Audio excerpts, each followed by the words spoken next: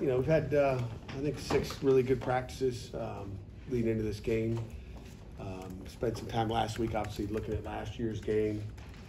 Um, you know, getting, you know, um, I guess upset looking at it. Uh, didn't think we played a very good game uh, Yankee Stadium a year ago.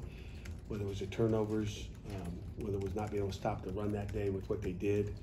Uh, I spent a day on it last week, just you know, just making sure you know we're good on all ends that way. Just you know, um, as coaches, you over prepare, so you know, having the extra days, you know, we just kind of said let's go back to it and pretend like we're seeing the same thing again, which you know we're not gonna, but you know, you know they can always go wildcat, but um, I don't think they do it with Kyle McCord. Um, that'd kind of be a waste not having him back behind the center, but. Um, so we've had we've had a good week. I think our guys are excited about a Thursday night game, the first night game of the year um, in Acrisure Stadium. Our kids are excited. So questions? Uh, we talked to Gavin this week, and he said Coach Bro uh, gave him crowbars and said they got to pry the DNs open this week. What are you guys trying to do in the run game to pry the DNs? I think you know Coach Bro. He likes um, what do you call that when your speech class in eighth grade? Uh, props. You know, props or whatever. Just something for him to think about. You know, he's used sledgehammers in the past or whatever it may be. Um, um, so you know, he's just you know a young guy that uh, comes up with different gimmicks just to get the guys thinking about being more physical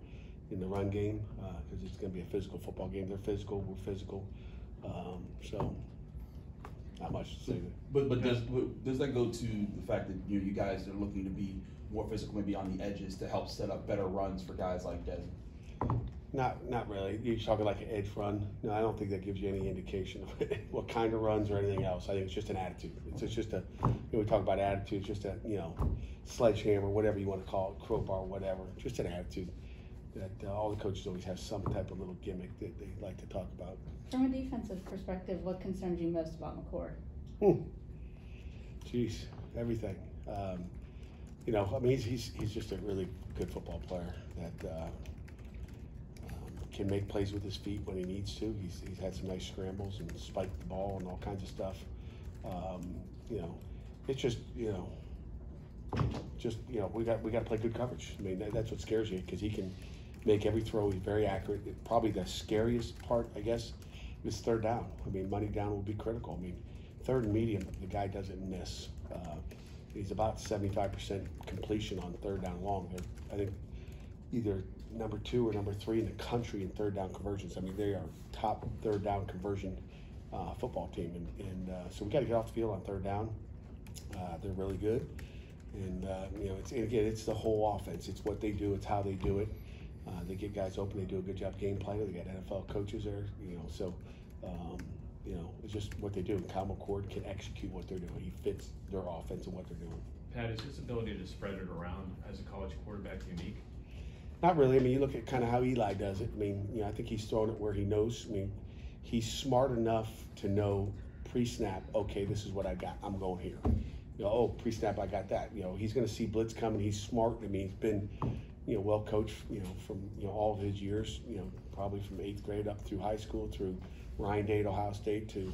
Uh, to you know their offense there at Syracuse, so I think it's just you know he's, he's intelligent. I mean, we talk about his athletic ability, talk about how what kind of arm he's got, how accurate he is. But all that's great, but if you don't know where to go with the ball, you know, it's a problem. But pre-snap, I mean, he kind of will have a feel of where he likes to go, and, and um, you know, and that, that's that's the key is he knows where he wants to go with the ball and he gets it out quick. I haven't seen him grow in understanding of the different ways to get the ball out quick and where to go because you know, every play there's multiple options. You guys are countering for what you're expecting. Have you seen him grow in in his ability to decipher the different ways to do that with all of you guys as a playbook. You know, you're talking about you know um, Kyle McCord.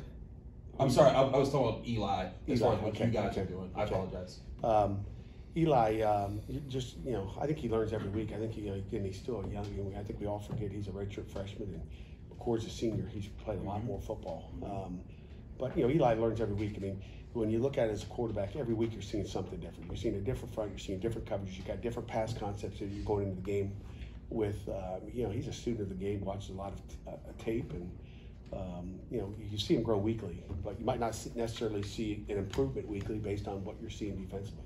How have you seen him respond to having that game against Cal? You know, he's he's he's slick, man. It just washes right off of him. I mean, he's he's he's confident he's uh, you know he's resilient when you watch him practice every day. He, he doesn't.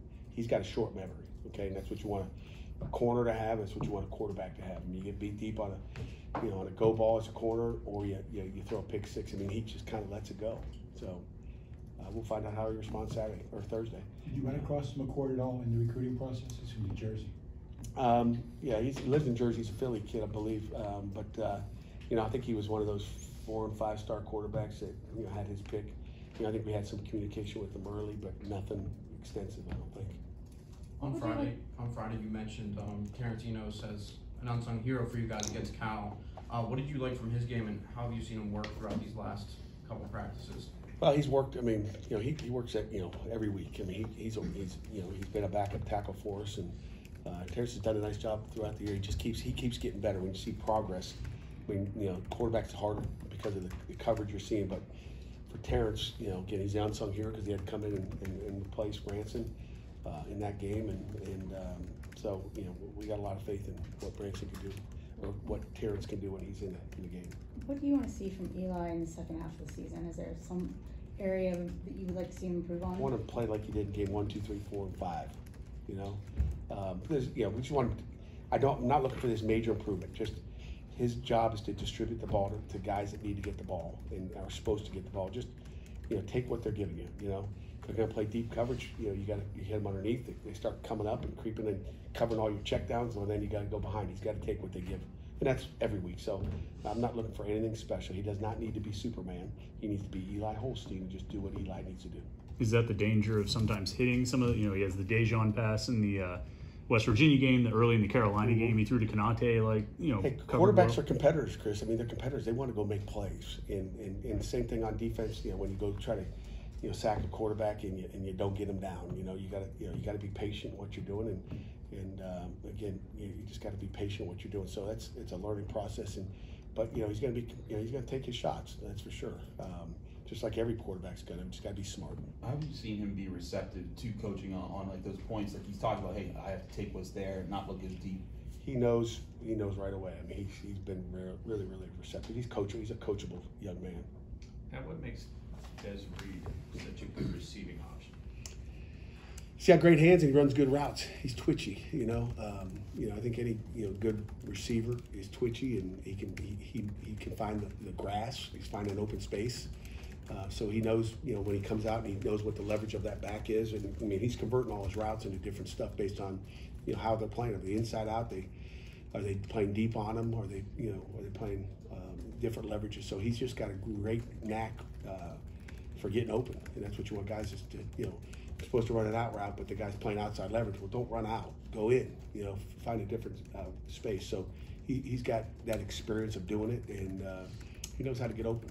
Is he studied? I mean, is that, is, is that a product of him doing extra studying as well? Yeah, I mean, you know, like all our guys, I mean, they, they are deep into film review all the time. I mean, they, they do a great job. I mean, you know, we got smart kid number one at Pitt, so it's nice when you have intelligence. Uh, Desmond is a, is a really smart kid that understands football. He's a football guy. He's a football junkie. So all great players are like that. Do you feel like you guys have a unique threat on your roster with him, Konata, Poppy, the, the amount of guys you have that are smart route runners that can not only get open by understanding what the defense is doing, but also just naturally because they've gotten really strong in their ability to create separation. No doubt about it. I mean, you know, it comes down to route running, and, and it comes down to understanding your leverage and what coverage you're getting. They're converting a lot of routes, so yeah, you've got to know what you're doing. You can't just go out there. You know, we're not just running post routes and go routes. We're running a lot of sophisticated routes and concepts based on coverages. So we're converting routes. Pat, I uh, asked around some of my other AP guys that cover the ACC about do they have FCS guys on their roster, and he said the answer I got back was not really. Not, certainly not anybody as impactful as Desmond. Has the portal like maybe diminished opportunities for those guys like Des, like Poppy, to sincerely to kind of make that leap? I don't think so. I mean, you know, you know, the other AP guys that you've talked to, I don't know. I mean, if they look, They're cover the other schools. Yeah, but um, you know they're, they're out there. I mean, you got to go find them. And you got to dig, and, and obviously we had inside info on that one. Um, but I'll go back to you know probably five or six years ago. My alma mater, Rhode Island, had a tackle went to Georgia. You know, Cheney recruited him down there. I'm like, maybe it's more than five years ago, six years ago. So transfers from one double A are happening all the time.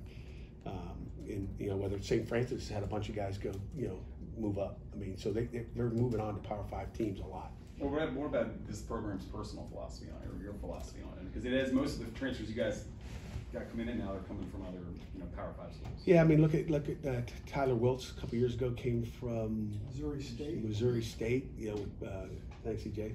I mean, he, that guy was a phenomenal football player. You know, um, I mean, that guy was a you know he, he made an impact in our, our defensive linebacker. He's tough, and can, what you saw on tape, you saw it doesn't matter. I, mean, I think there's a fine line between FBS and FCS, and uh, it's about good players that love football. And I think some of those younger guys, you know, those one double A guys, are hungry guys that want to prove that they can play at the next level, and, and that's what we found with some of those guys. Do you find your job to be more interesting and maybe- more challenging because of the portal? I mean, you, you have to think out of the, outside the box more than we did maybe ten years ago? Yeah, I mean, I think you know you're, you're taking more of those guys out of the pool. I think every year we've increased the amount of guys we're taking, but we're not taking guys to take guys. But you know, it's always interesting. You know, there's never you know, never a dull day. You know, sitting in that seat. Um, but you know, I think you know part of the part of the process you got to evolve and change and and um, you know. Again, I think you know we had a stat. I think I maybe mentioned it to you earlier in the week or radio show or something. You know, we're seventy two percent win on transfers. That's pretty good. I mean, seventy two percent is a good number of guys you've hit on. And we've made some mistakes on guys as well. Um, but some of those were calculated mistakes that we kind of go, that was a mistake, and we knew it. We had questions. But sometimes you have a need and, you, and there's not much left. And you have a need, you know, and you, pu- you push and press to, to take a guy um, and maybe make mistakes that way. But, you know, just being patient. We don't need them. You know, we want them if they're good. We don't want them if they're not. What, what, quan- I'm Jerry, what what quantifies as a win? That was my question. Sorry. Okay. Uh, Sorry, Jerry, if you wanna ask that. No, go right ahead. A win is a guy, you know, like when you're bringing starters in that are playing for you. I mean, you know, you know, we, we, you know, if they're coming in as starters, you know, they're, they're you know, they're, they're good players. We took a kid from Kent State, you know, the Milano, uh, Milano kid, uh, Stefano. Stefano, Paisan, um, and uh, and he did a great job for. Him. I mean, there's guys you just, you know, but you like them, you know, out of, you know, you just. A win is a guy that's coming in playing for you. Whether it's Nathan Peterman, go back. I mean, you go back. And we got all the records. I'll share it with you maybe after the season one day. Has the transfer portal contributed to maybe some of the parity that you see around uh, the entire college football this year? I think so, but I think the parity's been there for years, even prior to. You know, it's given someone an opportunity, and um, but you know, I think college football, anybody can win on any given. Forget your record. If you don't show up, you're going to get beat, um, and you, you see that week in and week out. And I'm not sure the transfer portal has a lot to do with it, but um, you know, I, I- think it certainly helps a little bit depending on you know what you get and where you get them. Pat, was there any unique message you gave your team during the bye week to kind of, you know, stay, about staying focused, you know, after a six and oh historic start for Pitt? Not really. I mean, you know, hopefully they forget about six and zero. I mean, it's a constant preach. After you're one and zero, you have to, you know, Kent State game. It's the same, same message. There's no different. Oh, we're this. You know, we're just trying to be one and zero. The focus is one and zero. What are we doing this week? It's not about Syracuse. It's about what Pitt does. It comes down to our execution on, on game day. Do you feel like you guys, I'm sorry. No, no, go ahead. Um, do you feel like you got you guys benefit from a unique standpoint of leadership where you have a guy like Gavin Bartholomew, you guys like Brandon George, who've been part of an ACC championship team, but just also were part of a three and nine team that who can s- effectively talk to the, the younger teammates and be like, hey, this can be the difference between winning and losing. No doubt, we're always going to, you know, feed off of our senior leadership um, that we have, especially those guys that you know uh, have been there before. So there's no doubt there's lessons learned, right? I mean, you learn from a, a three and nine season, just like you learn from a, an eleven and two season. Among your top five wideouts and Desmond, I think between the six of them, they have three drops all year. Um, um, uh, like five years ago, I think Pitt was among the top in the country in drops. Is it just a difference in talent? Is it a difference in coaching or I think it's, quarterback? I think it's talent. I think it's, um, you know, I think it's certainly talent. I think it's coaching too. I think you coach that, and you know, whether it's doing different type of ball drills, and you know, and again, it comes down to you know being positive as a coach. I think, you know, you don't dwell on a drop in practice. I mean, what are you doing? You know, I mean, it's like you know, they don't need to hear about it. They dropped it. You know, you just move on and keep going. But I think you know, coaching is, is a big part of it. You know, JJ's done a great job. Had, um, we were just talking, some of us were over there talking to Coach Tomlin, and he said that he talked to the league yesterday about that there was a, Minkah Fitzpatrick had blocked an extra point, got flagged for leverage. He said it looked, looked like the official said he touched, uh, TJ, but his finger sort of glanced his helmet. He talked to New York, said, New York said, hey, it's not a penalty. It shouldn't have been a penalty in the game. It was What called was a it penalty called? in What was the game. penalty? It was, they called Roughing the leverage passer? on, they called leverage on, he kind of leapt over the line and He as he blocked did, an it extra sort of point. like, Okay. he sort of looked like he grazed TJ's helmet as, as he did it. When you guys go to the ACC with the calls you don't like, they don't. Do they say, "Hey, that was our bad"? And what did what does your staff get out of the process? Does it become a teaching point, or you just feel better about venting to the league? It's a coaching point, and Al Riveron's done a great job of, of, you know, communicating with us, and, you know, we send in calls, you know, and they do a great job of letting us know, like last week, we had a, you know, crazy call, um, on Rashad Battle for, you know, taking someone, you know, you can't take someone's knees out, you know, just to knock stuff out, you know, I don't think he even touched the guy, but it looked like the guy fell down, and we got called for it, so you bring, you send calls in, you know, they got a hard job, I mean, officials do not have an easy job, things are happening fast out there, um, and uh, you got to have your eyes. But they do a good job with operation, and and uh, we expect them to be perfect. They're not going to be perfect. Our players are not going to be perfect, and our coaches are not going to be perfect. Well, what do you get out of the feedback? Do you take that feedback that, that Al might Tell our and then take kids. to the coaches and the the No doubt, no doubt. We'll watch you know officials tapes, you know, and staff meetings in here, and go through what was called, what was not called, and and you know try to educate our kids. That's all the best we can do is try to educate our kids on what's being called and what's not going to be called. Um, so we can, you know, I don't know what play that is. If you guys want to send it to me, that'd be great. Send DJ. Forgive me, what was, what was the call against Rashad that play? It was like, They ran a screen out there, and he Right. broke up and, and actually made the tackle. Yeah. Got the you know got the guy, but the, the lineman was coming, and he beat the lineman there. And the lineman fell down. It looked like it was a, you know, I guess they call it a block below the waist on defense. You know, used to be able to, you know, so did, did the ACC say that was an incorrect call or? it was an incorrect call. They made, you know, but you know, it's a, it's a bang bang, right? I mean, you know, I'm not criticizing them at all. It's, uh, I think they do a great job, and um, and they, they'll use that to coach up their officials. And you know, one of the first plays was uh, this week was one that was a real good call, okay, in a game in an ACC game, and that's what they want called. And then you know, but they're going to make mistakes. We're all going to make them. I got one more? Coach, do you see this uh, matchup with Syracuse as a rivalry? I know they, they put up rivalry week for this matchup. Do you see Syracuse and Pitt as true football? Certainly is. I mean, we've played them, you know, nine times so far. It's his tenth year. It's someone that's in a conference. It's a it's a rivalry game. Uh, is it like West Virginia? I mean, you can you know you rate your you know your rivalry games on a scale one to ten. Um, but you know, I, I certainly think it's a rivalry because we play them. All, it's a it's a it's a game we're going to play every year at Pitt. So um, it certainly is a rivalry game for us. Okay.